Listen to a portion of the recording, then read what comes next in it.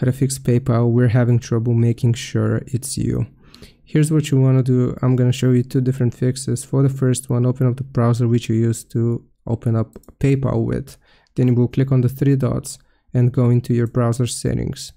From here, you will need to navigate to privacy and security and you will choose third-party cookies. Right here, you just want to click on CO site data and permissions and you will just delete all data. This is going to log you out of your accounts, so make sure you know all of your passwords.